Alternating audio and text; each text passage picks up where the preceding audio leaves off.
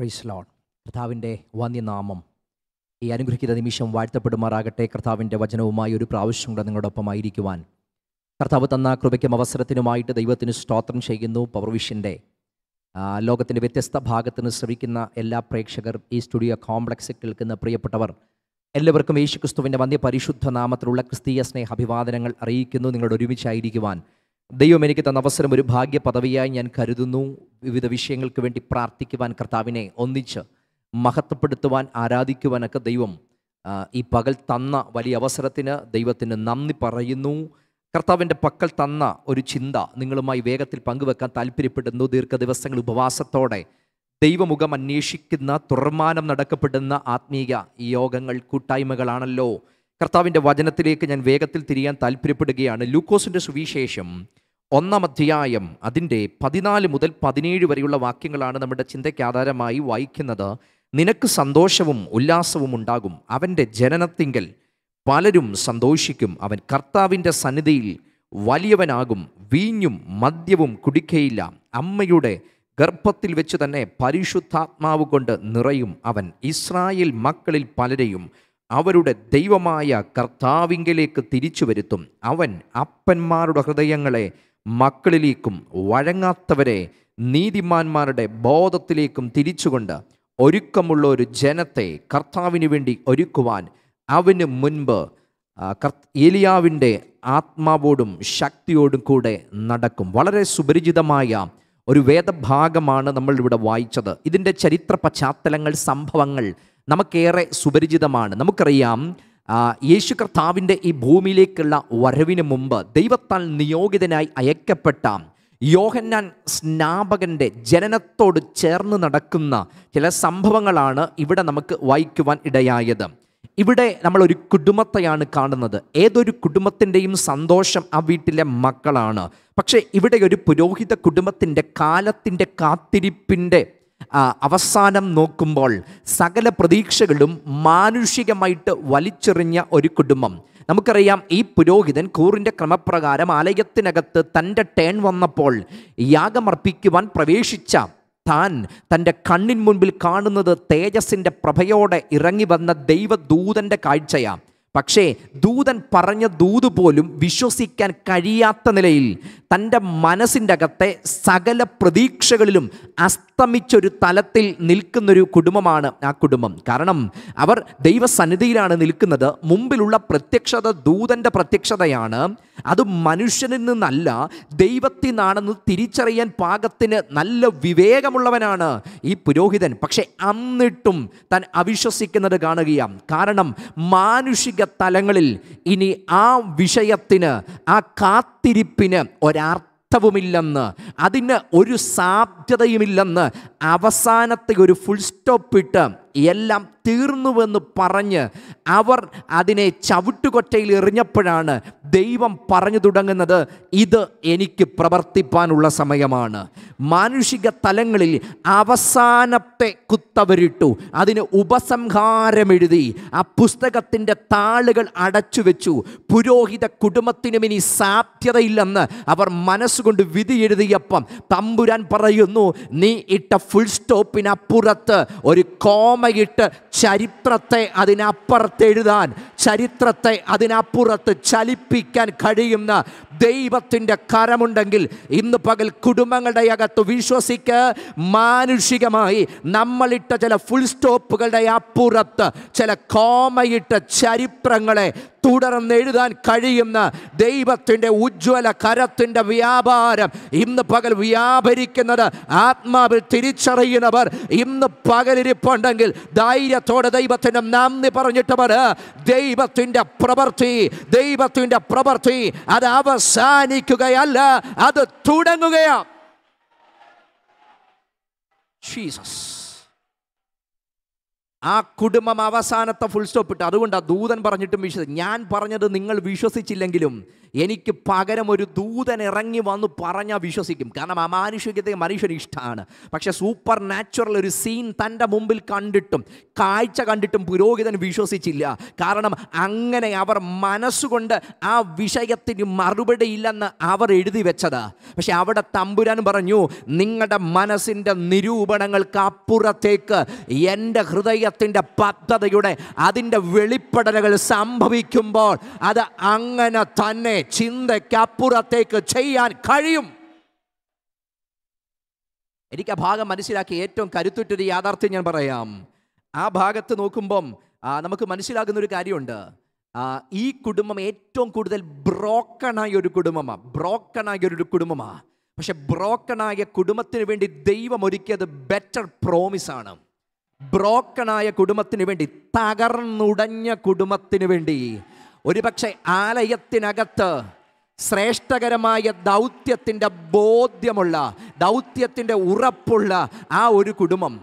എന്ത് ശുശ്രൂഷ ചെയ്യുന്നുവെന്ന് ഉറപ്പുള്ളവർ ജനത്തിനു വേണ്ടി ദൈവത്തോട് മധ്യസ്ഥത നിൽക്കുന്നൊരു കുടുംബം. പക്ഷേ ഉൾത്തടങ്ങളിൽ ഒരു ചോദ്യം കിടക്കുക. ഉൾത്തടങ്ങളിൽ ഒരു തേങ്ങൽ കിടക്കുക മറുപടി ലഭിക്കാത്തൊരു വിഷയം കിടക്കുക. അതിനെ ഹൃദയത്തെ മുറിച്ചുകൊണ്ടിരിക്കുക. അവർ ബ്രോക്കണാണ്. പല മേഖലയിലും അവർ തകർന്നവരാണ്. പക്ഷേ നമ്മൾ ഈ വായിച്ച പതിനാല് മുതൽ പതിനേഴ് വരെയുള്ള വാക്യങ്ങൾ നോക്കിയ ഒന്നല്ല പത്ത് വാഗ്ദത്തങ്ങളാണ് ദൈവം ആ കുടുംബത്തിന് നേരെ നോക്കി പറയുന്നത്. അവിടെ ആലയത്തിലേക്ക് കയറിയ പുരോഹിതനെ നോക്കി ആ ദൈവത്തിന്റെ ദൂതൻ വിളംബരം ചെയ്യുന്നത്. ഒന്നല്ല പത്ത് വാഗ്ദത്തങ്ങൾ. ആരെപ്പറ്റി? ഇതുവരെ കാത്തിരുന്ന തന്റെ തലമുറയെ. അവസാനിച്ചെന്ന് തോന്നിയ ഇനി ഒരിക്കലും സംഭവിക്കത്തില്ലെന്ന് പറഞ്ഞതിനെ നോക്കി ആ പുരോഹിതനോട് ദൂതൻ പറയുന്നത് പത്ത് വാഗ്ദത്തങ്ങളാണ് എന്റെ പ്രിയരെ തകർച്ചയുടെ ആഴം വലുതാണേ. അതിന്റെ നടുവിൽ ദൈവത്തിന്റെ ഉറപ്പിന്റെയും ദൈവത്തിന്റെ വാഗ്ദത്വത്തിന്റെയും വിളംബരവും വലുതായിരിക്കും. തകർച്ചയുടെ ആഴത്തോളം തന്നെയുണ്ട് ദൈവത്തിന്റെ ആ ശക്തിയുടെ കരത്തിനും. ദൈവത്തിന്റെ ശക്തിയുടെ കരത്തിനും. നമ്മൾ നിർമ്മാണം നടത്തുന്നൊരു വീടിന്റെ അവിടെ നമ്മളൊരു ഫൗണ്ടേഷൻ ഇടുമ്പം അത് എത്ര ആഴത്തിൽ കുഴിക്കുന്നോ അത്രയ്ക്ക് അവിടെ ബലം സംഭവിക്കുമെങ്കിൽ ഒരു വ്യക്തിയുടെ ജീവിതത്തിൽ അവൻ എത്ര ആഴത്തിൽ നിബദിക്കുമോ അത്ര ആഴത്തിൽ നിന്ന് തമ്പുരാനെ പൊക്കിയെടുത്ത് ദൈവത്തിന്റെ വാഗ്ദത്തത്തിനകത്ത് കൊണ്ടു നിർത്തുമ്പം അതിന്റെ ഗ്ലോറിയെ അളക്കാൻ ലോകത്തിലെ ഒറ്റയാൾക്കും വിട്ടുകൊടുക്കാതെ ദൈവത്തിന്റെ മകത്വം വെളിപ്പെടുത്തുവാൻ കഴിയുമെങ്കിൽ ഇന്ന് പകൽ വിശ്വസിച്ച് ഈ ദൂത് കേട്ടുകൊണ്ടിരിക്കുന്ന ദൈവമക്കളുടെ മേൽ ആഴങ്ങൾക്കകത്ത് കിടക്കുന്ന ചിലതിനെ തമ്പുരാൻ തൊട്ടടുത്ത് തൊട്ടടുത്ത് ദൈവത്തിന്റെ വാഗ്ദത്വത്തിന്റെ നിറവിലേക്ക് ഒരായുസ് താങ്കൾ കണ്ടതിനേക്കാൾ വിചാരിച്ചതിനേക്കാൾ അപ്പുറം.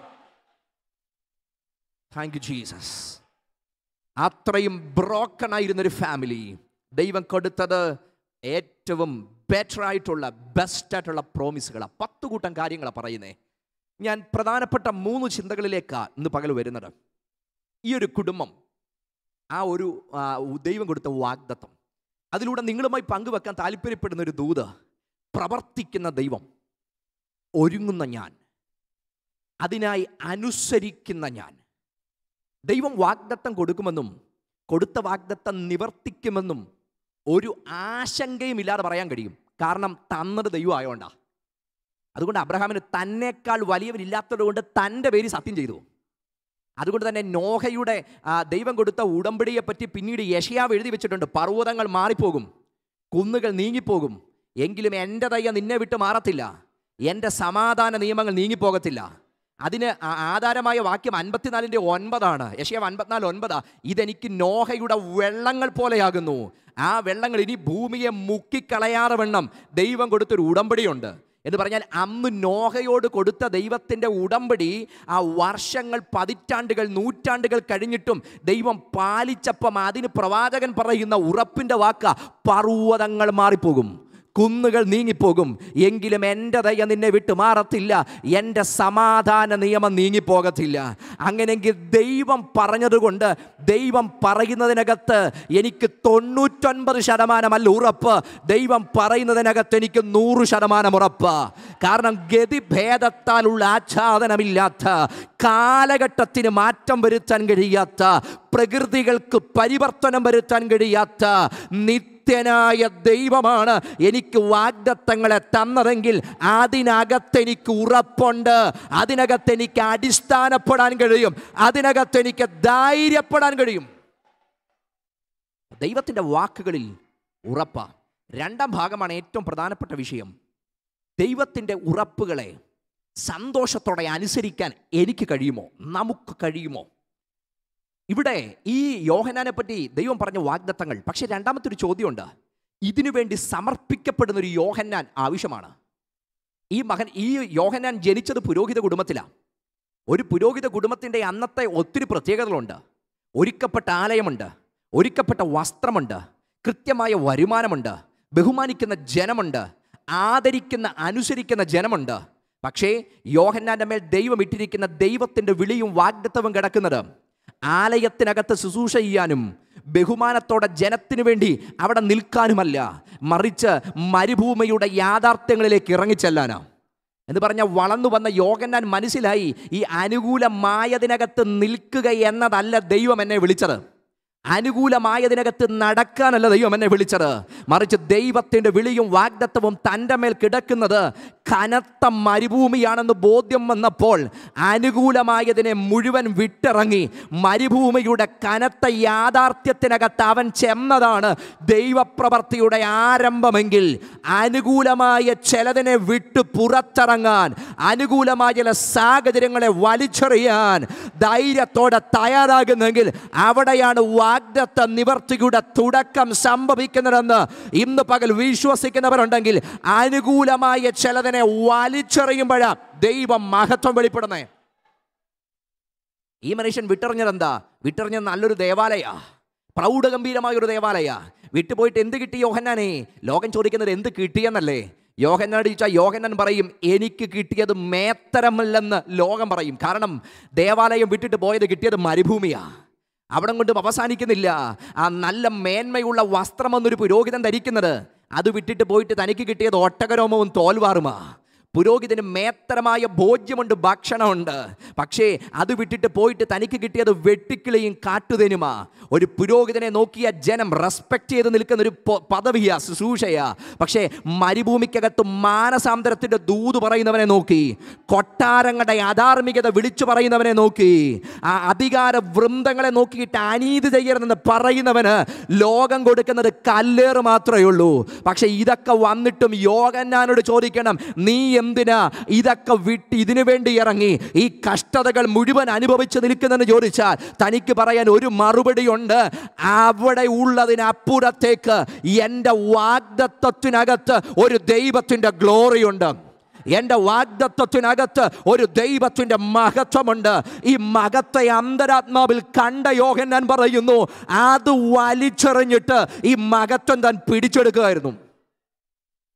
അതുകൊണ്ട് എന്നെ അവിടെ ഏറ്റവും അധികം ഇഷ്ടപ്പെടുത്തിയ ഒരു കാര്യമുണ്ട്. കാലഘട്ടം തെളിയിച്ചു ഭക്തന്റെ തീരുമാനത്തിന്റെ പ്രസക്തി. യേശു കർത്താവ് ദൈവരാജ്യത്തുള്ള ബന്ധത്തിൽ പറഞ്ഞൊരു ഉപമയുണ്ട്. ഒരു മനുഷ്യൻ വയലിൽ ഒരു നിധി കണ്ടെത്തി അവനത് ഒളിപ്പിച്ചു വെച്ചിട്ട് തനിക്കുള്ളതൊക്കെയും വിറ്റ് അവൻ ആ വയൽ വാങ്ങിച്ചു. നിങ്ങൾ ശ്രദ്ധിച്ചേ ഈ മനുഷ്യൻ പ്രായമുള്ളൊരു മനുഷ്യനാണെങ്കിൽ ഇദ്ദേഹം ഒരായുസി മുഴുവൻ താൻ പണിതെടുത്ത തന്റെ വീട് മുന്തിരിത്തോട്ടങ്ങൾ സൗകര്യങ്ങൾ ഇത് മുഴുവൻ ഒരു ദിവസം അങ്ങ് വിറ്റ് കളഞ്ഞെന്നും ഒരു ദിവസം വിറ്റ് കളഞ്ഞു. നാട്ടുകാരെന്ത് പറയും? എവിടെയോ കിറുക്ക് ബാധിച്ചെന്ന് പറയും. എവിടെയോ ഈ മനുഷ്യന് താളം തെറ്റിയെന്ന് പറയും. എന്നാൽ ആ മനുഷ്യനോട് ചോദിക്കണം നീ എന്തിനത് വാങ്ങിച്ചത്? നാട്ടുകാരോട് അദ്ദേഹത്തിന് പറയാൻ ഒരു മറുപടിയുണ്ട്. നിങ്ങൾ കണ്ടത് ഞാൻ വിറ്റ വീടാ. നിങ്ങൾ കണ്ടത് ഞാൻ വിറ്റ മുന്തിരിത്തോട്ട. നിങ്ങൾ കണ്ടത് ഞാൻ വിറ്റ പലതിന്റെയും ചരിത്ര. പക്ഷെ ഞാൻ വാങ്ങിച്ചൊരു വയലുണ്ട്. അതിന് ആ വയലിന് മകത്തകരമായി പറയാൻ പലതുമില്ല പക്ഷെ വയലിനകത്ത് മറഞ്ഞു കിടക്കുന്ന ഒരു നിധിയുണ്ട്. മറഞ്ഞു കിടക്കുന്ന ഒരു നിധിയുണ്ട്. അതിനകത്തൊരു ഗ്ലോറിയുണ്ട്. എന്റെ ആയുസ് ഞാൻ അധ്വാനിച്ചുണ്ടാക്കിയതിനേക്കാൾ ഗ്ലോറി ആയിട്ടുള്ള ഒന്ന് അതിനകത്തുണ്ടെന്ന് മനസ്സിലാക്കിയിട്ട് ഇത് പലതും വിട്ടിറങ്ങിൽ ഇന്ന് അനുകൂലമായ പലതിനെയും വിട്ടിറങ്ങിയിട്ട് ഈ തേജസ്സിനെ അനുധാവനം ചെയ്യാൻ അകന്നിറഞ്ഞ് സമർപ്പിക്കുന്ന ദൈവമക്കൾക്ക് ഇന്ന് പകൽ എനിക്ക് ആത്മാവിൽ പങ്കുവെക്കാനുള്ള ദൂത് വലിച്ചെറിഞ്ഞതിനേക്കാൾ വലിച്ചെറിഞ്ഞതിനേക്കാൾ തേജസ്സിന്റെ ഈ അനുഭവത്തിലേക്ക് കാൽ അകത്ത് ബോധ്യമുണ്ടെങ്കിൽ ഇറങ്ങി വരുന്ന ദൈവമഹത്വവും ഇറങ്ങി വരുന്ന ദൈവ സാന്നിധ്യവും അന്തരാത്മാവിൽ ചലിക്കുന്ന ദൈവകൃപയും പരിശുദ്ധാത്മാവിന്റെ നിറവും യേശു കർത്താവിന്റെ നിരന്തര സാന്നിധ്യവും അനുഭവിക്കാൻ എനിക്ക് അവസരം കിട്ടുന്ന ഇടമായത്. ഇതിനേക്കാൾ ഗ്ലോറി എന്താ ഈ ലൈഫിൽ? ഇതിനേക്കാൾ ഗ്ലോറി എന്താ ഈ ലൈഫിൽ? അവിടെ യോഹനാനെ സംബന്ധിച്ച് അവൻ മുഴുവൻ വിട്ടത് വാങ്ങിച്ചു. ഞാൻ അതിനകത്തെ അതിന് ദൈവം കൊടുത്ത മറുപടിയും കൂടെ പറയാം. ആ കാലഘട്ടത്തിനകത്ത് അമ്പതയുടെ കാലഘട്ടമായിരുന്നു. അന്ധതയുടെ കാലഘട്ടം. ആത്മീക തലങ്ങളുടെ മുഖത്തട്ട് മുതൽ താഴത്തട്ട് വരെ അന്ധത ബാധിച്ച കാലഘട്ടങ്ങൾ. അവിടെ പരീക്ഷ വൃന്ദങ്ങൾ ചൂഷണ വൃന്ദങ്ങളായി മാറി. ഇന്റർ ടെസ്റ്റ്മെന്റൽ പീരീഡിൽ മലാക്കിയുടെ പുസ്തകത്തിന് ശേഷമുള്ള കാലഘട്ടം ഇസ്രായേലിനെ സംബന്ധിച്ച് വെല്ലുവിളിയുടെ കാലഘട്ടമായിരുന്നു. ആ കാലഘട്ടത്തിനകത്ത് വചനത്തിനു വേണ്ടി നിൽക്കാൻ ഒരുമിച്ച് നമുക്ക് വചനം പഠിക്കാമെന്ന് ആഹ്വാനം ചെയ്ത് തുടക്കം കുറിച്ചൊരു സമൂഹമാണ് ഫാരസിയർ പരീക്ഷന്മാരെന്ന് പറയുന്നത്. പക്ഷേ ഏതാണ്ട് ഒരു മൂന്ന് നൂറ്റാണ്ട് കഴിഞ്ഞപ്പം ഈ സമൂഹം അവിടെ കപടഭക്തികളുടെ മൊത്തക്കച്ചവടക്കാരായി മാറി. കപടഭക്തികളുടെ മൊത്തക്കച്ചവടക്കാരായി. ഈ പരീഷന്മാർ ഹിപ്പോക്രൈറ്റുകളായി മാറി. അങ്ങനെ മാറിയവരുടെ നടുവിൽ അന്ധത ബാധിച്ചവരുടെ നടുവിൽ യോഹന്നാൻ വിളിച്ചു പറയുന്നൊരു ദൂതുണ്ട്. നിങ്ങളറിയാത്ത ഒരുത്തൻ നിങ്ങളുടെ ഇടയിൽ നിൽക്കുന്നുണ്ട്.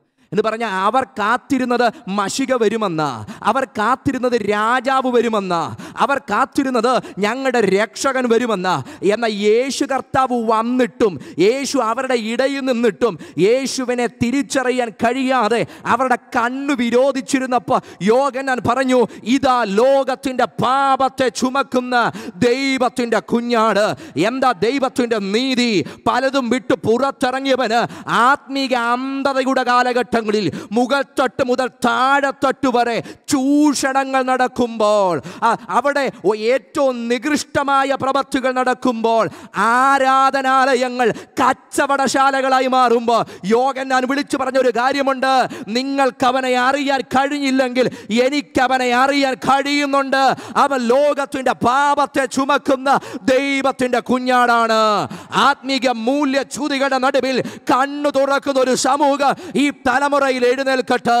കർത്താവിന് വേണ്ടി ഹൃദയം കൊടുക്കുന്ന യേശുവിന് വേണ്ടി ഹൃദയം സമർപ്പിക്കുന്ന അനുകൂലമായ പലതിനെയും വലിച്ചെറിഞ്ഞിട്ട് ഇവിടെ എനിക്ക് വലുത് ഇവിടെ ലഭിക്കുന്ന ഭൗതിക നന്മകൾ അപ്പുറത്ത് ക്രിസ്തുവാണ് എനിക്കെല്ലാമെന്ന് അന്തരാത്മാവിൽ ബോധ്യമുള്ള ഒരു ദൈവ പൈതങ്ങൾ ഈ തലമുറയിൽ എഴുന്നേൽക്കട്ടെ. കൂടാരങ്ങളുടെ അകത്ത് നമ്മുടെ പ്രാർത്ഥന അതാകട്ടെ. ഈ തലമുറയെ അനുകൂലമായ പലത് വലിച്ചെറിഞ്ഞാലും ക്രിസ്തുവിന് വേണ്ടി എനിക്ക് നിൽക്കണം. അപ്പോൾ ആത്മീയ അന്ധതയുടെ കാലത്ത് ദൈവം അവന്റെ കണ്ണു തുറന്നു കൊടുത്തു. അടുത്തത് അപ്പൻ ഉൾപ്പെടെ നിഴലായ യാഗം കഴിക്കുമ്പോൾ മകൻ വിളിച്ചു പറഞ്ഞു യവൻ ആ പൊരുളെന്ന് പറഞ്ഞു. എന്ന് പറഞ്ഞ ഇവൻ നിഴലല്ല ഇവൻ പൊരുളാ. അടുത്തത് മൂന്ന് ഈ യഹൂദന്മാർ മുഴുവൻ അടയാളം അന്വേഷിക്കുന്ന കാലഘട്ടങ്ങൾ അടയാളം അന്വേഷിക്കുന്ന കാലഘട്ടങ്ങൾ. പക്ഷേ യോഹന്നാൻ പറഞ്ഞൊരു കാര്യമുണ്ട്. ആ ആ, യോഗനാന് ദൈവം കാണിച്ചു കൊടുത്തൊരു കാര്യമുണ്ട്. സ്വർഗം തുറന്നിരിക്കുന്നതും പരിശുദ്ധാത്മാവ് പ്രാവെന്ന പോലെ ഇറങ്ങി വരുന്നതും അവൻ കണ്ടു. എന്ന് പറഞ്ഞാൽ അടയാളമല്ല അവന് ഉറപ്പിന്റെ സന്ദേശം കൊടുക്കാൻ സ്വർഗത്തിലെ ദൈവത്തിന് കഴിഞ്ഞെങ്കിൽ ഈ തലമുറയിൽ കർത്താവിന് വേണ്ടി ഒരു ഒരു വില കൊടുത്ത് ഒരു സ്റ്റെപ്പ് എടുക്കാൻ നമ്മൾ തയ്യാറാകുന്നെങ്കിൽ നമ്മോടുള്ള ദൈവത്തിന്റെ നീതി ഈ തലമുറയ്ക്ക് തന്നെ വെളിപ്പെടുത്തുകയും വരാനുള്ള ലോകത്തും വെളിപ്പെടുത്തുവാൻ കഴിയുന്ന ദൈവത്തിന്റെ നീതിയുടെ കരമുണ്ടെന്ന് വിശ്വസിക്കുന്നവർ ഇന്ന് പക ധൈര്യത്തോടെ നന്ദി പറഞ്ഞിട്ട് പറയണം. എന്റെ ദൈവം നീതിമാനായ ദൈവമാ. എന്റെ ദൈവം നീതിമാനായ ദൈവമാ. എന്റെ കാൽവെപ്പുകളെ ആദരിക്കുന്ന ദൈവമാ. അവൻ എടുത്തു വെച്ച സ്റ്റെപ്പിനെ ദൈവം മാനിച്ചു. അപ്പൊ ഒന്ന് ദൈവം പ്രവർത്തിക്കണമെങ്കിൽ ഞാൻ സ്റ്റെപ്പ് എടുത്തു വെക്കണം. ഞാൻ അതിന് വില കൊടുക്കണം. ഞാൻ അതിന് കാൽ ചുവടെടുത്ത് വെച്ചാൽ ദൈവം പ്രവർത്തിക്കും. രണ്ട് ദൈവം പ്രവർത്തിക്കണമെങ്കിൽ നമ്മിൽ നിന്ന് അടിയന്തരമായി ആവശ്യമുള്ള കാര്യം ആ പതിനാറ് പതിനേഴ് വാക്യങ്ങളാണ് അവിടെ പറയുന്നത് ദൈവത്തിങ്കിലേക്ക് മടങ്ങി വരണം. നമ്മൾ ദൈവത്തിന്റെ അടുക്കിലേക്ക് മടങ്ങി വന്നാൽ നമുക്ക് വേണ്ടി പ്രവർത്തിക്കാൻ സ്വർഗത്തിലെ ദൈവത്തിന് കഴിയും. നാം മടങ്ങി വന്നാൽ ദൈവം പ്രവർത്തിക്കും. മടങ്ങി വന്നാൽ പ്രവർത്തിക്കും. എവിടേക്ക് മടങ്ങി വരണം? ദൈവത്തിങ്കിലേക്ക് മടങ്ങി വരണം. എന്താ റിയൽ റിപ്പൻഡൻസ് എന്ന് പറയുന്നത്? ഒരു മുടിയനായ പുത്രൻ അവനെപ്പറ്റി പറയുന്ന അപ്പന്റെ വീട്ടിന് പോയി. പക്ഷേ അവൻ പന്നിയുടെ അടുക്കൽ വെച്ച് തനിക്ക് ആ ബോധം വന്ന സമയത്ത് സുബോധം വന്നപ്പോൾ അവൻ തിരിച്ചോടിയൊരു ഓട്ടമുണ്ട്. അപ്പന്റെ അടുക്കിലേക്ക് ഓടിയൊരു ഓട്ടമുണ്ട്. വഴി മാറിപ്പോയി എന്ന് മനസ്സിലാകുമ്പം അവിടെ മറ്റൊരു സ്ഥലം തേടുന്നതല്ല മാനസാന്തരം. ആ പന്നിയുടെ അടുക്കൽ വെച്ച് അവന് മനസ്സിലായി തകർന്നു പോയി താൻ ഉടഞ്ഞു പോയി താൻ. അതുകൊണ്ട് അടുത്ത നല്ലൊരു ജോലി ലഭിക്കണമെന്ന് ആഗ്രഹിച്ച് അടുത്ത പന്നിക്കൂട് തേടുന്നതല്ല മാനസാന്തരം. മറിച്ച് എവിടെയാണോ എനിക്ക് വഴി വഴിമാറിപ്പോയത് അപ്പന്റെ വീട്ടിന്റെ സർവ സൗകര്യങ്ങളും അനുഭവിച്ച് അപ്പന്റെ സാന്നിധ്യത്തെ അനുഭവിച്ച് ആ മടിത്തട്ടിൽ ഉല്ലസിക്കാൻ അവസരം ലഭിച്ച മനുഷ്യൻ അവിടെ നിന്ന് ഓടിയതാ ശരിക്കും അവന്റെ ലോകത്തിലേക്കുള്ള ഓട്ടം. അപ്പം എന്താ മടങ്ങി വരവ്? ഇന്നത്തെ തകർച്ചയിൽ നിന്ന് അപ്പന്റെ വീട്ടിലേക്ക് അപ്പന്റെ അടുക്കലേക്ക് അപ്പന്റെ സന്നിധിയിലേക്കുള്ള മടങ്ങി വരവാണ് മാനസാന്തരമെങ്കിൽ നഷ്ടപ്പെട്ടു പോയ ബന്ധത്തിലേക്ക് നഷ്ടപ്പെട്ടു പോയ ആത്മീയ അനുഭവത്തിലേക്ക് ഒന്ന് മടങ്ങി വരാൻ ഇന്ന് പക തയ്യാറാകുന്നെങ്കിൽ അതിനുവേണ്ടി ഹൃദയം സമർപ്പിക്കുന്നെങ്കിൽ ഒരു കാര്യം ഉറപ്പ പ്രവർത്തിക്കാം ദൈവത്തിന് കഴിയും. പ്രവർത്തിക്കാം ദൈവത്തിന് കഴിയും. നാം മടങ്ങി വന്ന ദൈവം പ്രവർത്തിക്കും. ത്രിവിധ മടങ്ങി വരവുകൾ. ഇവിടെ പറയുന്ന ഒന്ന് വ്യക്തിപരമായി മടങ്ങി വരണം. As a person come back to the lord ദൈവത്തെങ്കിലേക്ക് മടങ്ങി വരിക. പ്രാണപ്രിയന്റെ പ്രത്യാഗമനത്തിന്റെ കാലച്ചകൾ മുഴങ്ങിക്കേൾക്കുന്നത് കൊണ്ട് വ്യക്തിപരമായി ദൈവത്തിലേക്ക് മടങ്ങി വരിക. രണ്ട് അവിടെ പറയുന്നു അവൻ അപ്പന്മാർ ഹൃദയങ്ങളെ മക്കളോട് നിരപ്പിക്കും. അപ്പൊ രണ്ടാമതും മടങ്ങി വരവ് ആവശ്യമുള്ളത് അവിടെ കുടുംബത്തിന്റെ അകത്തും മടങ്ങി വരവ് സംഭവിക്കട്ടെ. കുടുംബങ്ങളുടെ അകത്തും മടങ്ങിവരവ് സംഭവിക്കട്ടെ. ഇത് ശരിക്കും ആദ്യമായിട്ട് എഴുതിയത് ഇവിടെയല്ല. പഴയ നിയമത്തിന്റെ അവസാനത്തെ വാക്യം പിന്നെയും ദൂതൻ എടുത്ത് ഉദ്ധരിക്കുന്നതേ ഉള്ളൂ. പഴയ നിയമത്തിന്റെ അവസാനത്തെ വാക്യം മലാക്കിയുടെ പ്രവചനം നാലാം അധ്യായം ആറാമത്തെ വാക്യം ഇപ്രകാരമാണ് തീരുന്നത്. ആ ഞാൻ വന്ന് ഭൂമിയെ സംകാര ശബദം കൊണ്ട് ദണ്ണിപ്പിക്കാതിരിക്കേണ്ടതിന് അവൻ അപ്പന്മാർ ഹൃദയങ്ങളെ മക്കളോടും മക്കളുടെ ഹൃദയം അപ്പന്മാരോടും നിരപ്പിക്കും. അപ്പൊ പഴയ നിയമത്തിന്റെ അവസാന വാക്യം പറയുന്നത് ജനമേ ദൈവത്വങ്കിലേക്ക് മടങ്ങി വരിക. കുടുംബമായിട്ട് ദൈവത്വങ്കിലേക്ക് മടങ്ങി വരിക. കാലങ്ങൾ കുറെ കഴിഞ്ഞു. നാനൂറ് വർഷങ്ങൾ പിന്നിട്ടു. ഇതിന്റെ ഇടയ്ക്കും ആരാധനയുണ്ടായിരുന്നു. ഇതിന്റെ ഇടയ്ക്കും പ്രാർത്ഥനയുണ്ടായിരുന്നു. ഇതിന്റെ ഇടയ്ക്കും പെരുന്നാളുണ്ടായിരുന്നു. ഇതിന്റെ ഇടയ്ക്കും യാഗങ്ങൾ അവർ അർപ്പിച്ചു. പക്ഷേ മടങ്ങി വരവ് സംഭവിക്കേണ്ട മേഖലയിൽ മടങ്ങി വരവ് സംഭവിച്ചിട്ടില്ല. എഴുതി വെച്ചത് അപ്പൻ അപ്പന്റെ വഴിയിൽ. മകൻ മകന്റെ വഴിയിൽ. കുടുംബത്തിനകത്ത് ഭിന്നത കുടുംബത്തിനകത്ത് തകർച്ച കുടുംബം രണ്ട് ധ്രുവത്തിലും രണ്ട് ആശയത്തിലും പോകുന്നു. പക്ഷെ രണ്ട് കൂട്ടർക്കും ദൈവപ്രവർത്തി വേണം. പക്ഷെ തിരുവെടുത്ത് എഴുതി വെച്ചിരിക്കുന്നത് ദൈവം പ്രവർത്തിക്കണമെങ്കിൽ അപ്പന്മാരുടെ ഹൃദയം മക്കളോട് ചേരട്ടെ. ആ കാലത്തിന്റെ കോണ്ടക്സ്റ്റിൽ പറഞ്ഞാൽ അപ്പന്മാർ അവർ അവരുടെ ഗൗരവമായി കാലത്തെ കാണുന്ന ഒരു സമൂഹം മഷികയ്ക്ക് വേണ്ടി കാത്തിരിക്കുക. പക്ഷേ പക്ഷേ അകത്ത് കപടഭക്തി ബാധിച്ചിരിക്കുന്നത് കൊണ്ട് ഇവർക്ക് ക്രിസ്തുവിനെ കാണാൻ കഴിഞ്ഞില്ല. അടുത്തത് മക്കൾ. അന്നത്തെ നൂതന ആശയങ്ങൾ അവർ കണ്ടുകൊണ്ടിരിക്കുന്നു. മോഡേൺ ഫിലോസഫി അവർ സിദ്ധിച്ചുകൊണ്ടിരിക്കുന്നു. കൊരിന്ത് തുടങ്ങിയ തെരുവുകളിൽ പ്രസംഗിക്കുന്ന പ്രസംഗകരുടെ വചനങ്ങൾ അവർ കേട്ടുകൊണ്ടിരിക്കുന്നു. ഇവരും പറയുന്നു ഒരു മഷികവരുമായിരിക്കും. എന്ന് പറഞ്ഞ ഈ രണ്ട് കൂട്ടരും കൂടെ കടന്ന് ക്ലാഷ് ചെയ്യുക. അപ്പന്മാരും മക്കളും തമ്മിൽ ക്ലാഷ് ചെയ്യുക. എന്ന് പറഞ്ഞാൽ ആ അപ്പന്മാരുടെ അവരുടെ വളരെ ട്രഡീഷണൽ ആയിട്ടുള്ളൊരു കാഴ്ചപ്പാടുകൾ മക്കളുടെ മോഡേൺ കാഴ്ചപ്പാടുകൾ ഇത് രണ്ടും കൂടെ ക്ലാഷ് ചെയ്ത് രണ്ടുപേരും പ്രതീക്ഷിക്കുന്നത് മഷിക വരുമെന്ന്. പക്ഷെ പറയുന്നത് ഈ രണ്ട് കൂട്ടരും കൂടെ നിരപ്പ് പ്രാപിച്ച് രണ്ട് കൂട്ടരും കൂടെ കൈ കൊടുത്ത് വരുവാനുള്ള മഷികക്ക് വേണ്ടി കാപ്പിരിക്കണമെന്ന് ഞാൻ ഈ ദൂത് പറയുന്നത് ആ കാലത്തോടല്ല ഈ കാലത്തോട്. ഇന്നും അത് തന്നെ. ഒരു വല്ലാത്ത സമൂഹത്തിലേക്ക്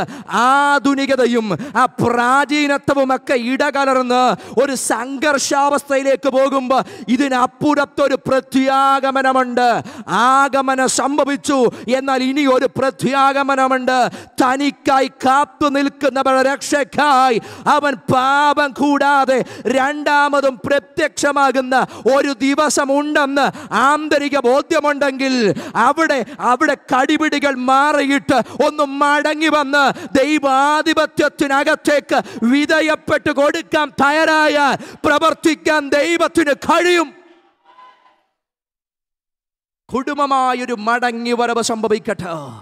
അടുത്തത് മൂന്നാമതായി അവിടെ എഴുതിയിരിക്കുന്ന വഴങ്ങാത്തവരെ നീതിമാന്മാരുടെ വിവേകത്തിലേക്ക് തിരിച്ചു വരുത്തും. ഞാനതിനെ ഇപ്രകാരം പറയാൻ നമ്മുടെ കോണ്ടക്സ്റ്റിൽ പറയാൻ താല്പര്യപ്പെടുന്നു. As a church we to by. ഒരു സഭയായി ഒരു സമൂഹമായി നമുക്ക് ദൈവത്തെങ്കിലേക്ക് നോക്കാം. ഞാൻ ഈ അടുത്ത സമയങ്ങളിൽ ദൈവം എന്റെ മനസ്സിൽ നിരന്തരം സംസാരിക്കുന്ന ഒരു ഭാഗമുണ്ട്. ദൈവത്തിന് വേണ്ടത് ഒരു റമനന്റിനെയാണ് ദൈവം എപ്പോഴും അന്വേഷിച്ചത് ദൈവം ഒരു റെമനന്റിനെയാ നമുക്കറിയാം ആ ഏലിയാവിന്റെ കാലഘട്ടത്തിൽ ആ ദേശത്ത് എഴുപത് ലക്ഷത്തിലധികം ആൾക്കാരുണ്ട്. പക്ഷെ കർത്താവിന് വേണ്ടി നിന്നത് കറ പുരളാതെ നിന്നത് ബാലിന് മുട്ടുമടക്കാതെ നിന്നത് ഏഴായിരമേ ഉള്ളൂ. ഏഴായിരം മാത്രം പറഞ്ഞാൽ അതൊരു വലിയ സംഖ്യ പക്ഷെ എഴുപത് ലക്ഷത്തിനകത്ത് ഏഴായിരം എന്ന് പറഞ്ഞാൽ അതൊരു ചെറിയ സംഖ്യ യരിശുലയം ദേവാലയത്തിലെ പത്രോസിന്റെ പ്രസംഗത്തിൽ രക്ഷിക്കപ്പെട്ടത് മൂവായിരമാ. മൂവായിരം എന്ന് പറഞ്ഞാൽ വലിയൊരു സംഖ്യ പക്ഷെ മുപ്പത് ലക്ഷത്തിനകത്ത് മൂവായിരം എന്ന് പറയുമ്പോൾ അതൊരു ചെറിയ സംഖ്യ എന്ന് പറഞ്ഞാൽ രക്ഷിക്കപ്പെടുന്ന കർത്താവിന് വേണ്ടി കാത്തിരിക്കുന്ന സംഖ്യ ചിലപ്പോൾ വളരെ ചുരുക്കമായിരിക്കും ചുരുക്കമായിരിക്കും. സർദീസിലെ സഭയെ നോക്കി ആ വിളിച്ചു പറഞ്ഞൊരു ദൂതുണ്ട് എല്ലാ കാര്യവും പക്ഷേ ഉടുപ്പ് മലിനമാകാത്ത ചിലർ എനിക്ക് സർദീസിലുണ്ട്. ഒത്തിരി പേരവിടെയുണ്ട് പക്ഷെ ഉടുപ്പ് മലിനമാകാത്ത ചിലരുണ്ട്. അങ്ങനെയെങ്കിൽ ദൈവസഭകളായി ഒരു സമൂഹമായി നമുക്ക് പറയാം. ഉടുപ്പ് മലിനപ്പെടാതെ പ്രാണപ്രിയന്റെ പ്രത്യാഗമനത്തിനു വേണ്ടി ദൈവപ്രവർത്തിക്ക് വേണ്ടി നമ്മെ തന്നെ സമർപ്പിക്കാൻ ഇന്ന് പകൽ കഴിയുന്നവർ ആത്മാർത്ഥമായി പ്രാർത്ഥിച്ചു തുടങ്ങട്ട്. ഒരു ദൈവാധിപത്യത്തിലേക്ക് ഞങ്ങളെ ഒന്ന് മടക്കിക്കൊണ്ടുവരണം.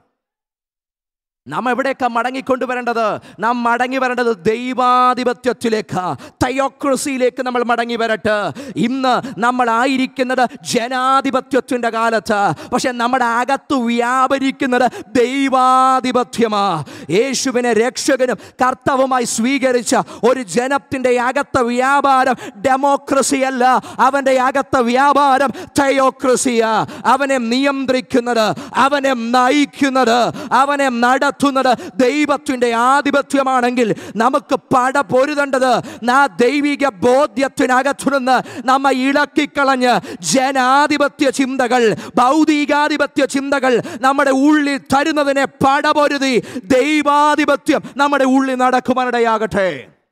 ദൈവാധിപത്യത്തിനകത്തേക്ക് നാം വരട്ടെ. ദൈവാധിപത്യം നമ്മിൽ സംഭവിക്കാനിടയാകട്ടെ.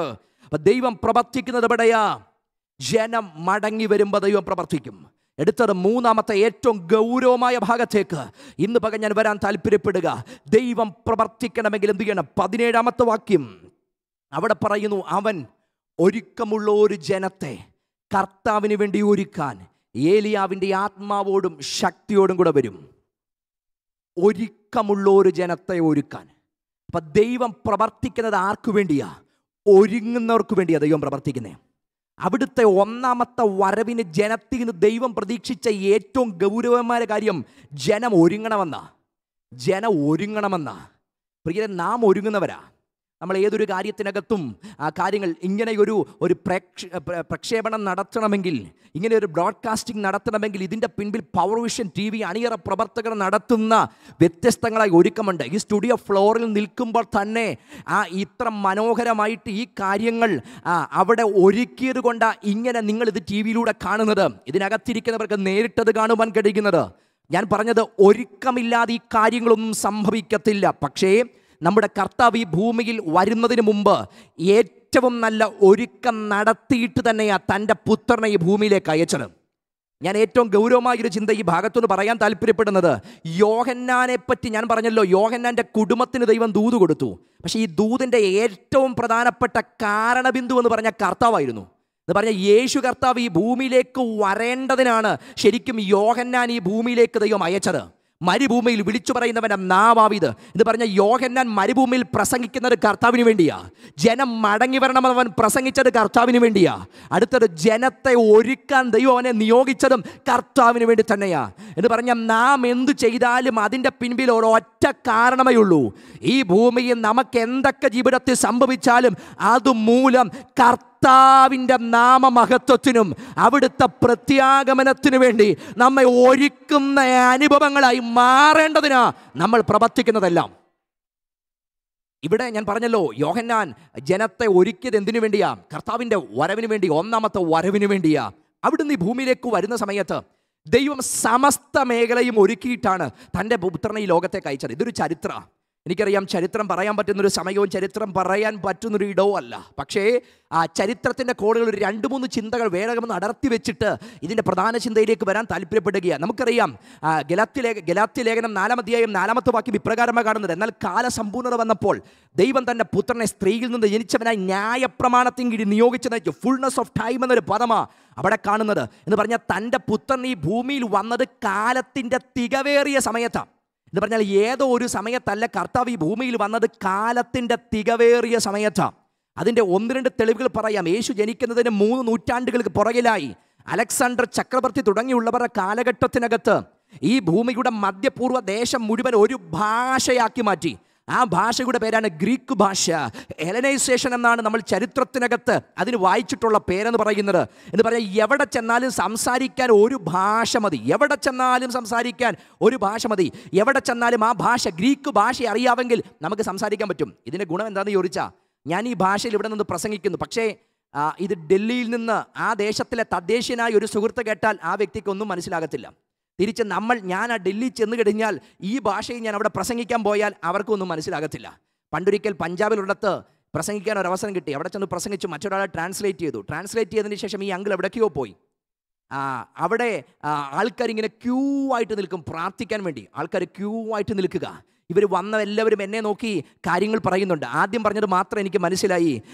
ജയ് മസീക്കി എന്ന് പറഞ്ഞത്. അത് മനസ്സിലായി. പ്രൈസ്തലോട് ഒരു സംഭവമാണെന്ന് പിടിയിട്ട് ജയ് മസീക്കി. അതിനുശേഷം ഇവ പറഞ്ഞത് എന്തെന്നൊന്നും എനിക്കറിയത്തില്ല. ആവലാതിയാണോ വേവലാതിയാണോ ഒന്നും അറിയില്ല. പക്ഷേ ഏറ്റവും അവസാനം ഒന്നുകൂടെ പറഞ്ഞു ദുവാ പാസ്റ്റർ ജി എന്ന് പറഞ്ഞു. അതും പിടികിട്ടി. പ്രാർത്ഥിക്കാൻ. പിന്നെ ദൈവത്തിന് എല്ലാ ഭാഷയും മനസ്സിലാകുമെന്ന് അന്ന് എനിക്ക് നന്നായിട്ട് മനസ്സിലായി. കാരണം പ്രാർത്ഥിക്കുന്നതിന്റെ മറുപടി അവിടെ കാണുന്നുണ്ട്. പക്ഷേ ഭാഷയൊന്നും എനിക്ക് മനസ്സിലായിട്ടില്ല.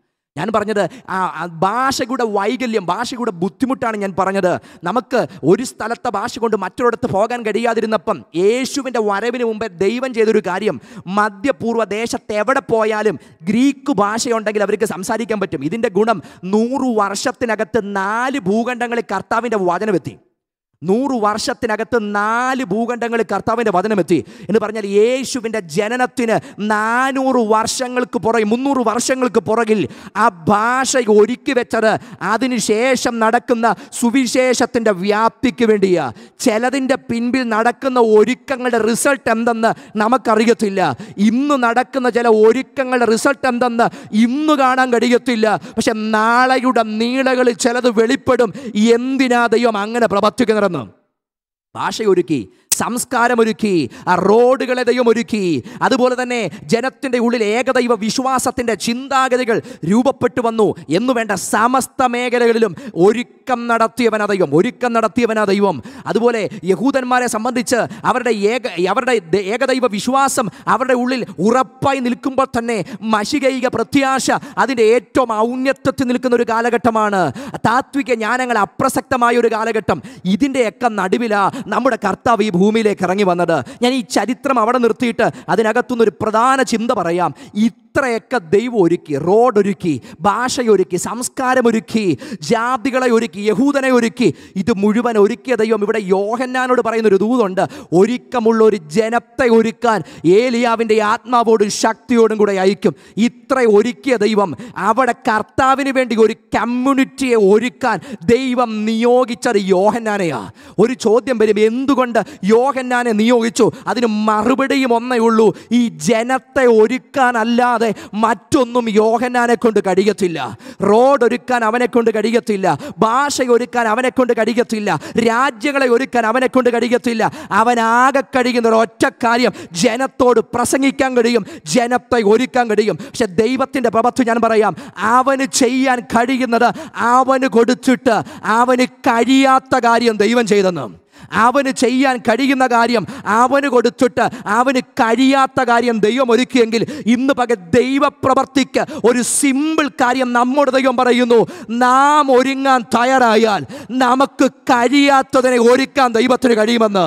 നമുക്കൊരുക്കാൻ പറ്റുന്നത് വ്യക്തിപരമായി ഒരുക്കാൻ തയ്യാറായാൽ കുടുംബപരമായി ഒരുക്കാൻ തയ്യാറായാൽ സമൂഹമായി ഒരുക്കാൻ തയ്യാറായാൽ നമുക്ക് കഴിയാത്ത എത്ര കഠിനമായതും അത്ഭുതത്തിന്റെ കരങ്ങളാൽ ഒരുക്കാൻ കഴിയുന്നവന്റെ കര ഇന്ന് പകൽ ചലിക്കുന്നത് ആത്മാവിൽ കാണുന്ന പ്രിയപ്പെട്ടവരുണ്ടെങ്കിൽ നമ്മുടെ കൂടാരങ്ങളുടെ അകത്ത് നാം ഇരിക്കുന്ന ഇടങ്ങളിൽ നാം ഒരുങ്ങാൻ തയ്യാറായാൽ നമുക്ക് കഴിയാത്തത് ഒരുക്കാൻ ദൈവത്തിന്റെ അത്ഭുതത്തിന്റെ ബലത്തിന്റെ വല്ലഭത്വത്തിന്റെ വ്യാപാരം ഇന്ന് പകൽ ചലിക്കുന്നത് വിശ്വാസത്താൽ കാണുന്നവർ ധൈര്യത്തോടെ ഒരുങ്ങാൻ തയ്യാറാകട്ടെ.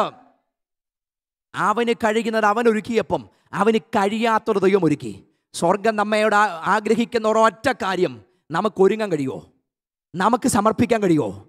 നമ്മൾ തയ്യാറാകാൻ കഴിയുമോ? നമുക്ക് കഴിയാത്തൊരു ദൈവം ഒരുക്കിക്കൊള്ളും. ചരിത്രത്തിനകത്ത് മുഴുവൻ ഇങ്ങനെ പ്രവർത്തിച്ചവനാ ദൈവം. ഇസ്രായേൽ എന്ന് പറയുന്ന ആ വലിയ ജനസമൂഹത്തിന് വേണ്ടി ദൈവം വരെ പുറപ്പെടുവിക്കുമ്പം നാനൂറ് വർഷത്തിന്റെ ഈ അടിമച്ചങ്ങല ഭേദിച്ചുകൊണ്ട് പുറത്തിറക്കാൻ പോകുമ്പം ദൈവം ആ ജനത്തോട് പറഞ്ഞൊരു കാര്യമുണ്ട്. മോശ എന്ന് പറയുന്ന മനുഷ്യനെ അവരുടെ ജനത്തിന്റെ ഇടയിലേക്ക് വിട്ടിട്ട് പറഞ്ഞു നീ ചെന്ന് ആ ഭരവോനോട് പറയണം എന്റെ ജനത്തെ വിട്ടയക്കണം. പാലവട്ടം ചെന്ന് പറഞ്ഞു എന്റെ ജനത്തെ വിട്ടയക്കണം എന്റെ ജനത്തെ വിട്ടയക്കണം. അത്ഭുതങ്ങൾ കാണിച്ചു കൊടുത്തു അത്ഭുതങ്ങൾ അടയാളങ്ങൾ കാണിച്ചു കൊടുത്തു. ഭാരവോൻ ഇതിനകത്തൊന്നും കുലുങ്ങിയില്ല. ഏതാണ്ട് ഒമ്പത് പ്രാവശ്യത്തിലധികം ആ കൊട്ടാരത്തിനകത്ത് എന്ന് പറഞ്ഞത് എന്റെ ജനത്തെ വിട്ടയക്കണം ഈ ജനത്തെ പുറപ്പെടുവിക്കണം. അപ്പോഴൊക്കെ ഭാരവാൻ പറഞ്ഞു നിങ്ങളെ പുറപ്പെടുവിക്കാം നിങ്ങളുടെ ദൈവമാരാ നിങ്ങളുടെ ദൈവമാരാ. പക്ഷെ പത്താമത്തെ പ്രാവശ്യം ദൈവം ആ മനുഷ്യനോട് മോശയോട് പറഞ്ഞൊരു കാര്യമുണ്ട് ഇനി കൊട്ടാരത്തിനകത്ത് പോകണ്ട നീ ആ ഇസ്രായേൽ ജനം പാർക്കുന്ന കൂടാരത്തിനകത്ത് ചെല്ലണം. അഭിമാസം പതിനാലാം തീയതി ഒരാട്ടുകൊറ്റനെ അറുക്കണം. അതിന്റെ രക്തമെടുത്ത് കട്ടളക്കാലിന് മേലും കുറുമ്പടി മേലും പുരട്ടണം. അതിന്റെ മാംസം തീയിലിട്ട് വേവിക്കണം. അത് കയ്പ് ചിരയോടും പുളിപ്പില്ലാത്ത അപ്പത്തോടും കൂടെ നിങ്ങൾ ഭക്ഷിക്കണം. നിങ്ങളുടെ വാതിൽ അടച്ചിട്ടിരിക്കണം. അടച്ചിട്ട വാതിലിനകത്ത് നിങ്ങൾ ഒരു കാര്യം കൂടെ ചെയ്യണം. അര കെട്ടണം കാലിൽ ചെരുപ്പിടണം കയ്യിൽ വടി പിടിക്കണം. ഈ അര കെട്ടുന്നതും കാലിൽ ചെരുപ്പിടുന്നതും കയ്യിൽ വടി പിടിക്കുന്നതും കാണിക്കുന്നത് ഒരു ഒരുക്കത്തെയാ. വിഷയം കിടക്കുന്നത് കൊട്ടാരത്തിനകത്ത്. പലവട്ടം ചെന്ന് മുട്ടിയിട്ടും തുറക്കാത്ത വിഷയമാ. പക്ഷെ ദൈവം പറഞ്ഞത് നിങ്ങളുടെ കൂടാരത്തിനകത്ത് വന്ന് നിങ്ങൾ ഒരുക്കാൻ തയ്യാറായാൽ നിങ്ങളുടെ വിഷയം കിടക്കുന്നത് കൊട്ടാരത്തില. പക്ഷെ ഇതിനകത്തൊരുങ്ങുമ്പോൾ കൊട്ടാരത്തിനകത്ത് ദൈവത്തിന്റെ ദൂതൻ ഇറങ്ങുമെന്ന് പലവട്ടം ചെന്ന് മുട്ടിയിട്ട് തുറക്കാത്ത കൊട്ടാരത്തെ തുറക്കാൻ കൊട്ടാരത്തിന്റെ വാതലിനെ തുറക്കാൻ ഇന്ന് പകലൊരു ഒറ്റ കാര്യം വിശ്വസിക്കുന്ന ദൈവമക്കൾ ഇതിനകത്തിരുന്ന് ഒരുങ്ങി തുടങ്ങുമ്പോൾ ഈ വചനം കേൾക്കുമ്പോൾ ഒരുങ്ങി തുടങ്ങുമ്പോൾ നിങ്ങൾക്ക് ചെന്ന് തുറക്കാൻ കഴിയാത്ത ചില മേഖലകളിൽ ദൈവത്തിന്റെ ദൂതൻ അവിടെ ഇറങ്ങി ചെന്ന് അത്ഭുതത്തിന്റെ ഇടപെടൽ നടക്കുമെന്ന് ഇന്ന് പകൽ വിശ്വസിക്കുന്നവർ ആത്മാവിൽ പ്രാർത്ഥിച്ചു തുടങ്ങുമ്പോൾ യേശുവിന്റെ നാമത്തിൽ യേശുവിന്റെ നാമത്തിൽ നാം ഒരുങ്ങാൻ തുടങ്ങിയ പ്രവർത്തിക്കാൻ ദൈവത്തിന് കഴിയും. ഒൻപത് വട്ടം ഒൻപത് വട്ടത്തിനപ്പുറം ആ കൊട്ടാരത്തിൽ അങ്ങോട്ട് ചെന്നിട്ട് ജനത്തെ വിടാൻ പറഞ്ഞപ്പോൾ അവിടെ വിട്ടില്ല. പക്ഷെ പത്താമത്തെ പ്രാവശ്യം അവരുടെ കൂടാരത്തിനകത്ത് പെസകയാചരിച്ച് അതിനകത്തിരുന്ന് ഒരുങ്ങിയപ്പോൾ ദൈവത്തിന്റെ ദൂതൻ കൊട്ടാരത്തിനകത്ത് ചെന്നു.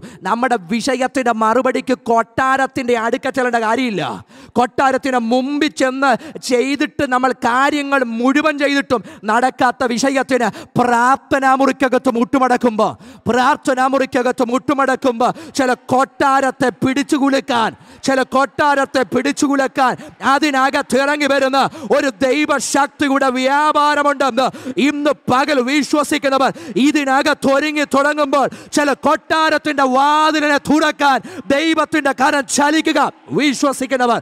ഇന്ന് പകൽ ആത്മാവിലത് ഏറ്റെടുത്ത് തുടങ്ങുമ്പോൾ ഇതിനകത്തുനിന്ന് ആത്മാവ് ചില വാതിലുകളെ ആത്മാവി ചില വാതിലുകളെ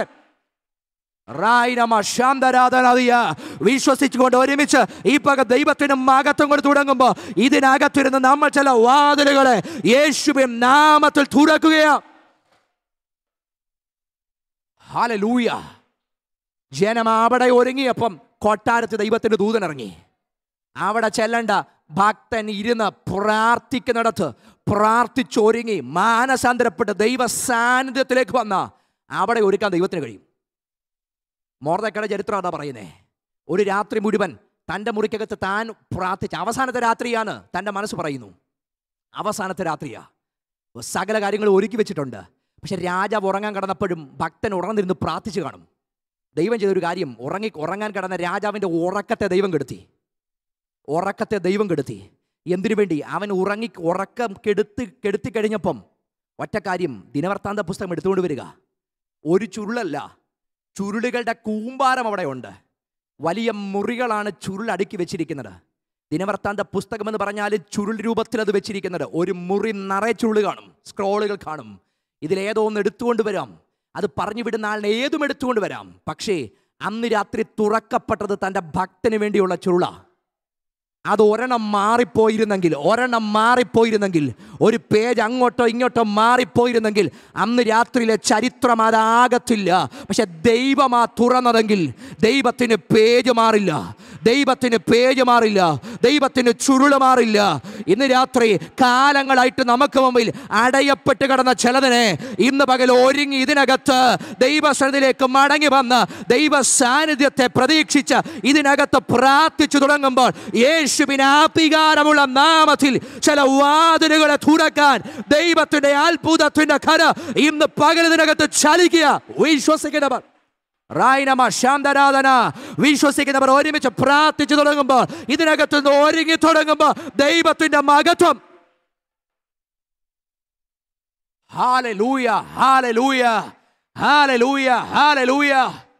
ഉറങ്ങാൻ കിടന്ന രാജാവിന്റെ ഉറക്കത്തെ കെടുത്തിയത് അവിടെ ഒരുങ്ങി പ്രാർത്ഥിക്കുന്ന ഒരു ഭക്തന്റെ പ്രാർത്ഥനയാ.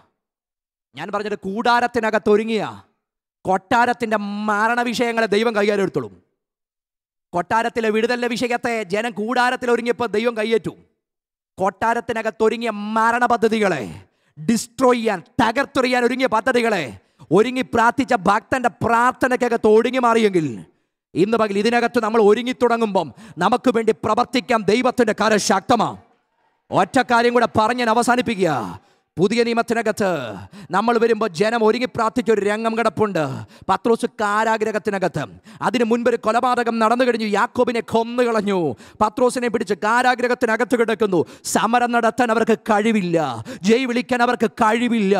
അവർ അതുകൊണ്ട് അർത്ഥമില്ല. അവർക്ക് ആകെ കഴിയുന്ന ഒരൊറ്റ കാര്യം അവരുടെ കൂടാരത്തിനകത്ത് പ്രാർത്ഥിക്കാൻ കഴിയും. അവർക്ക് വലിയ വിശ്വാസം ഉണ്ടായിട്ടൊന്നുമല്ല അവർ പ്രാർത്ഥിച്ചത്. പക്ഷെ അവർക്കറിയാം ദൈവം വിടുവിക്കും. അന്ന് രാത്രി വിടുവിക്കുമെന്ന് വലിയ വിശ്വാസമൊന്നും ഇല്ലായിരുന്നു. അതുകൊണ്ട് പത്രോസ് അവിടെ വന്നിട്ട് പോലും അവർ പൂർണകായ നിലയിലൊന്നും വിശ്വസിച്ചില്ല. പക്ഷെ അവർക്കറിയാം നാളെ മരണത്തിലേക്ക് പോകുന്നതിന് മുമ്പ് എപ്പോഴോ ദൈവത്തിന് വിടുവിക്കാൻ കഴിയും. പക്ഷെ അവർ ഒരു കാര്യം തീരുമാനിച്ചു. ഇന്ന് രാത്രി ഉറങ്ങാതെ സഭ ഒന്നിച്ച് പ്രാർത്ഥിച്ചു തുടങ്ങി.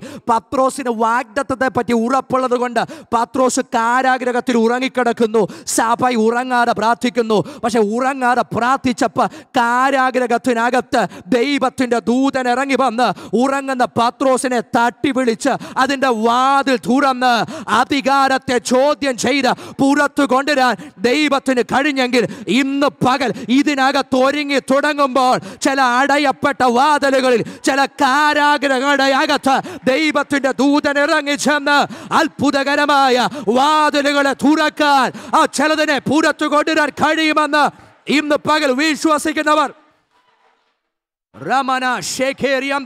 ഈ പക ദൈവ സാന്നിധ്യം വ്യാപരിക്കുക. നമ്മുടെ കൂടാരങ്ങളിൽ കൂടപ്പെട്ട ദൈവജനത്തിനമേ. ഇന്ന് പകൽ വിശ്വസിച്ച് ഒരുമിച്ച് പ്രാർത്ഥിക്കുമ്പോൾ ഇവിടെ നിന്ന് ഒരുങ്ങുമ്പോൾ ചില വിദൂരതകളിൽ ദൈവത്തിന്റെ മഹത്വം.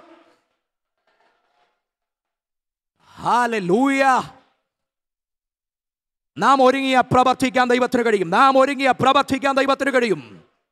ശരിക്കും ഞാൻ പറയാറുണ്ട് നമ്മുടെ ഇവിടെ പോലെ സുനാമി അടിച്ചതിന്റെ പിൻപിലെ പ്രഭകേന്ദ്രം ഇന്ത്യാനേഷ്യയിലെ സുമാട്രയായിരുന്നു സുമാട്രയിൽ ഒരു ഭൂകമ്പം ഭൂമിക്കടിയിൽ ഉണ്ടായതിന്റെ പ്രതിഫലനം ഇങ്ങനെ ആലപ്പുഴയിലെത്തിയെങ്കിൽ കൊല്ലത്തെത്തിയെങ്കിൽ ഭക്ത പ്രാർത്ഥിക്കുന്ന ഒരു ഭക്തന്റെ പ്രാർത്ഥനയുടെ പ്രകമ്പനം കാരാഗ്രഹത്തിനകത്തുവെത്തും.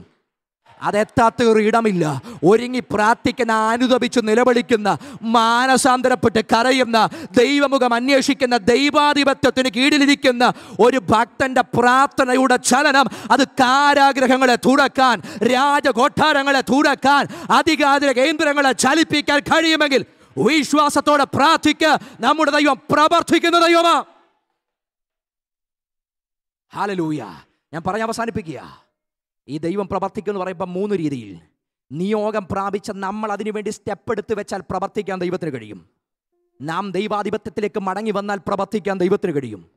നാം വ്യക്തിപരമായി കുടുംബമായി ഒരു സമൂഹമായിട്ട് ഒരുങ്ങാൻ തയ്യാറായാൽ പ്രവർത്തിക്കാൻ ദൈവത്തിന് കഴിയും. ഞാൻ ഈ കാലഘട്ടവുമായി ഇത് ചേർത്ത് വെച്ച് പറയുന്നു. പ്രാണപ്രിയന്റെ പ്രത്യാഗമനത്തിന്റെ കാലൊച്ച മുഴങ്ങിക്കേട്ടോണ്ടിരിക്കുക. ഈ കാലഘട്ടത്തിൽ നമുക്ക് ആവശ്യമുള്ള മൂന്ന് കാര്യം. നമുക്കൊരു റെമനന്റായി ഒരു ശേഷിപ്പായി സ്റ്റെപ്പ് എടുത്ത് വെച്ച് കർത്താവിന് വേണ്ടി നിൽക്കാം. വ്യക്തിപരമായി കുടുംബമായി സഭയായി ദൈവാധിപത്യത്തിനകത്തേക്ക് നമുക്ക് മടങ്ങി വരാം. തനിക്കായി കാത്തിരിക്കുന്നവർ രക്ഷയ്ക്കായി പ്രത്യാഗമിക്കാൻ പോകുന്ന ക്രിസ്തുവിന് വേണ്ടി നമുക്ക് ഒരുങ്ങി കാത്തിരിക്കാം. കറയും ചുളുക്കവും വാട്ടവും മാലിന്യവും ഇല്ലാതെ പ്രാണപ്രിയന് വേണ്ടി കാത്തിരിക്കാം. ഒരു കാര്യം ഉറപ്പ് പറയുന്നു നമുക്ക് വേണ്ടി പ്രവർത്തിക്കാൻ ദൈവത്തിന് കഴിയും. ഉറപ്പുള്ളവർ നിങ്ങളുടെ കൂടാരങ്ങളുടെ അകത്ത് കണ്ണുകളടച്ച് ഒരു നിമിഷം പ്രാർത്ഥിക്കാൻ തയ്യാറാകട്ടെ. ഹൃദയങ്ങൾ സമർപ്പിക്കപ്പെടട്ടെ മനസ്സുകൾ ഏകാഗ്രമാകട്ടെ. ദൈവപ്രവൃത്തികൾ സംഭവിക്കട്ടെ. ഞാൻ ഒരു നിമിഷം നിങ്ങൾക്ക് വേണ്ടി പ്രാർത്ഥിക്കുന്നു. ഈ ഫ്ലോറിലായിരിക്കുന്ന കൂടാരങ്ങളിലായിരിക്കുന്നവർ ഏതെങ്കിലും മേഖലകളിൽ പ്രാർത്ഥന നിങ്ങൾക്ക് ആവശ്യമെങ്കിൽ യേശുവിന്റെ കരം നിങ്ങളെ തൊടാൻ പോവുകയാണ് ഇന്ന് പകൽ അത്ഭുതത്തിന്റെ ഇടപെടൽ നടക്കാൻ പോവുകയാണ് പ്രവർത്തിക്കാൻ കഴിയുന്ന ഒരു പുരോഹിത കുടുംബത്തിന്റെ അസ്തമനത്തിന്റെ വാക്കുകളെ പുതുചരിത്രമാക്കി എഴുതി തീർക്കാൻ കഴിഞ്ഞ ദൈവത്തിന്റെ കര ഇന്ന് പകൽ ഇതിനകത്ത് വ്യാപരിച്ച് ചില വിഷയങ്ങളുടെ മേൽ തൊടുമെന്ന് വിശ്വസിക്കുന്നവർ ഒരുമിച്ച് പ്രാർത്ഥിച്ചു തുടങ്ങട്ടെ ഞങ്ങളുടെ പ്രിയ കർത്താവേ അങ്ങയുടെ പുത്രനായ യേശു ക്രിസ്തുവിന് അധികാരമുള്ള നാമത്തിൽ ഈ ജനത്തിനു വേണ്ടി പ്രാർത്ഥിക്കുമ്പോൾ അങ്ങയുടെ കരം അവരെ സ്പർശിക്കുന്നതിന് നന്ദി പറയുന്നു. ദൈവത്തിന്റെ വല്ലഭത്വം അവർക്ക് വേണ്ടി വെളിപ്പെടുന്നതിന് നന്ദി പറയുന്നു. ജനത്തെ അനുഗ്രഹിക്കുന്നു. പ്രാർത്ഥന കേട്ട കൃപയ്ക്ക് നന്ദി. യേശു ക്രിസ്തുവിൻ നിസ്തുല്യ നാമത്തിൽ തന്നെ. ആമേ